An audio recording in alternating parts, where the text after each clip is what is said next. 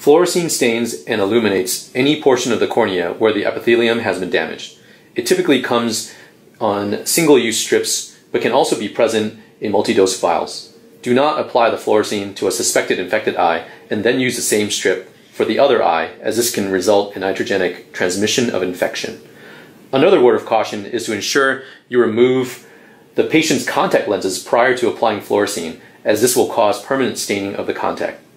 To apply fluorescein, add a single drop of anesthetic or saline to the tip of the fluorescein strip.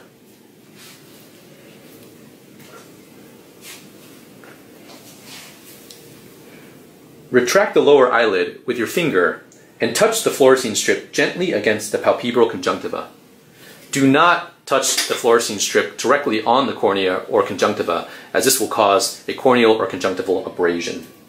Now ask the patient to blink multiple times to allow for the stain to distribute evenly across the surface of the eye. A common mistake is placing too much fluorescein into the eye, which causes the entire tear film to become illuminated. This makes it difficult to visualize small lesions. If this occurs, have the patient blink multiple times and try and clear the fluorescein. At times, placing one to two drops of saline into the eye may be required.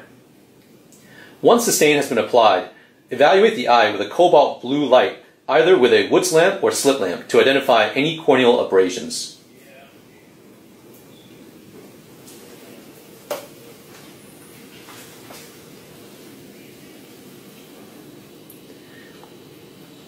Have the patient look up and down